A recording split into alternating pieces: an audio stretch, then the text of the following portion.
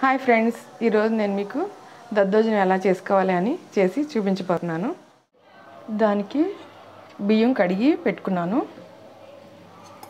ఈ గ్లాస్తో గ్లాస్ బియ్యం తీసుకున్నాను. అలాగే రెండు గ్లాసులు వాటర్ పోసుకుంటున్నాను. దద్దోజనం అవటానికి రైస్ కొంచెం మెత్తగా ఉన్నా పర్వాలేదు. గ్లాస్ రెండు గ్లాసులు పోసి ఇంకా కొన్ని పోసినా ప్రాబ్లం లేదు. ఇప్పుడు మూత పెట్టుకుంటున్నాను కుక్కర్కి.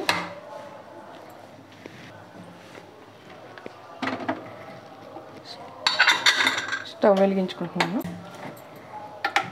మూడు విజులు వచ్చే వరకు ఉంచుకుంటున్నాను. కుక్కర్ మూడు విజులు అయిపోయింది. ఇప్పుడు అన్నం ఎంతవరకు ఎట్లా వచ్చిందో చూసుకుందాము. అన్నం ఇలా మెత్తగా ఉడికిపోయింది.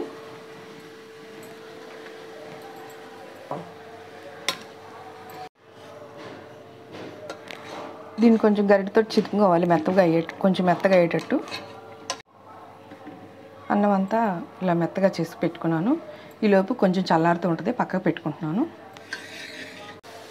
ఇప్పుడు తాలింపు ఒక గిన్నె తీసుకున్నాను స్టవ్ ఆన్ చేసుకున్నాను. నేను తాలింపు నెయ్యి నెయ్యి వేసి పెట్టుకుంటున్నాను. అలాగే జీడిపప్పు వేయించుకుంటున్నాను.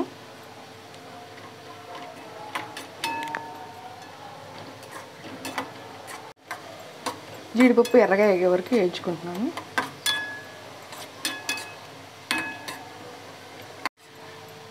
జీడిపప్పు ఒక ప్లేట్లో తీసి పెట్టుకుంటున్నాను పక్కకి.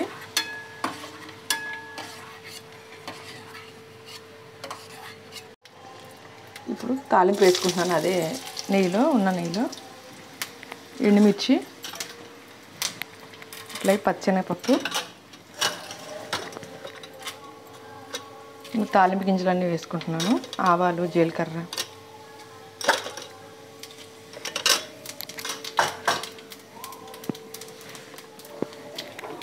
పచ్చిమిర్చి కూడా వేసుకుంటున్నాను. పచ్చిమిర్చి కొంచెం ఎక్కువ వేసుకోవాలి.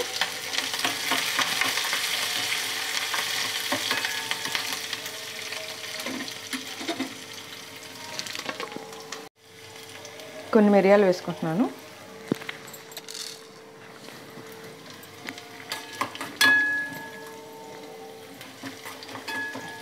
కొంచెం కరివేపాకు వేసుకుంటున్నాను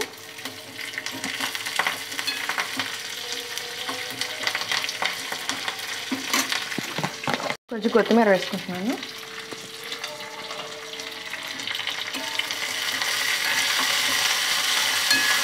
కొత్తిమీర కూడా వేగే వరకు తిప్పుకుంటున్నాను ఇప్పుడు తాలింపు రెడీ అయిపోయింది స్టవ్ తీసుకుంటున్నాను ఇది నే నూనెతో కూడా వేసుకోవచ్చు తాలింపు నే నెయ్యితో కూడా వేసుకోవచ్చు నేను టేస్ట్గా ఉంటుందని నెయ్యితో వేసుకున్నాను. మీకు ఎలా అవైలబుల్ అనుకుంటే అలా వేసుకోండి. స్టవ్ ఆఫ్ చేస్తాను. స్టవ్ ఆఫ్ చేసుకున్న తర్వాత కొంచెం ఇంగు వేసుకుంటున్నాను. ఈ ప్యాన్ హీట్ సరిపోద్ది ఇంగు వేడికి అందుకని కొంచెం ఇప్పుడు వేసుకుంటున్నాను. వేసుకుని ఒకసారి అటు ఇటు తిప్పుకుంటే సరిపోతుంది.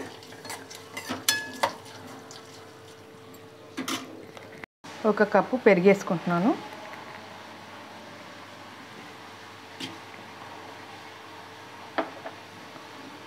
ఒకసారి కలుపుకుంటున్నాను.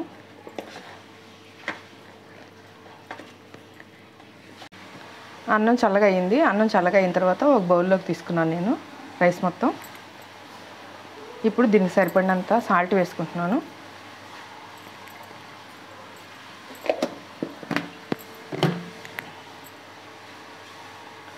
అలాగే అలాగే ఒక కప్పు పాలు కూడా యాడ్ చేసుకుంటున్నాను. ఇవి కాచి చల్లార్చిన పాలు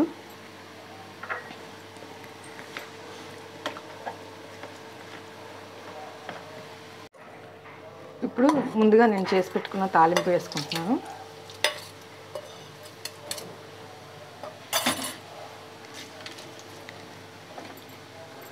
అలాగే జీడిపప్పులు వేసుకుంటున్నాను.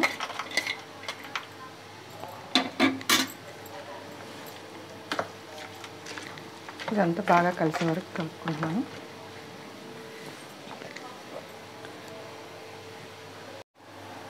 ఇందాక కొన్ని మిరియాలు వేశాను కదా ఇప్పుడు అలాగే ఒక కొంచెం చిన్న టీ స్పూను మిరియాల పౌడర్ వేసుకుంటున్నాను. ఈ మిరియాల పౌడర్ వేసుకోవడం వల్ల మనకి చాలా మంచిదన్నమాట. పిల్లలు కొంత మిరియాలు తినరు కదా మం తీసేస్తూ ఉంటారు మంట అనేసి అలాగా అలా తీకోకుండా ఈ మిరియాల పౌడర్ కూడా ఇందులో కలిసిపోయి బాగా రుచిగా ఉంటుంది. అందుకని కొంచెం మిరియాలు వేసుకుని కొంచెం పౌడర్ కూడా కలుపుకున్నాను నేను. ఇలా మన దద్దోజనం తయారైపోయింది. చేసినప్పుడు కొంచెం జ్యూసీగా అనిపించినా కానీ తర్వాత ఆరిపోతుంది. అప్పుడు సరిపోతుంది. చేసేటప్పుడు కొంచెం జ్యూసీగా ఉంచుకున్నా ఏం పర్వాలేదు. తర్వాత ఈ రైస్ అనేది వాటర్ మొత్తం పెరుగు మొత్తం పీల్ చేసుకుని ఉంటుంది. చూసారు కదా ఫ్రెండ్స్ మన దద్దోజనం ఎలా తయారైపోయిందో.